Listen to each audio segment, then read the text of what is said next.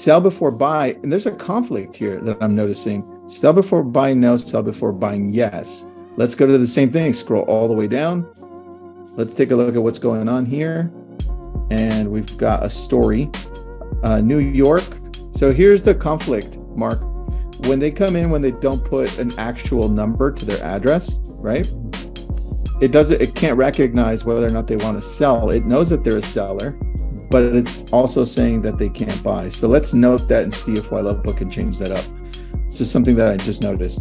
Uh, and then they're they're looking for all of this. So This looks like a positively good one, man. Um, I think let's take a look at now what they've seen. And look look at the properties they've seen just in the last well in the morning. They were on our site for 48, 58, 20 minutes looking. And they range in price from 3 million to 7 million. So even though they came in looking for Calabasas homes for sale, they gravitated to houses. So that would be my whole conversation around that. I'd probably text them along the same lines. This one looks a little more serious, so we're going to give them a call.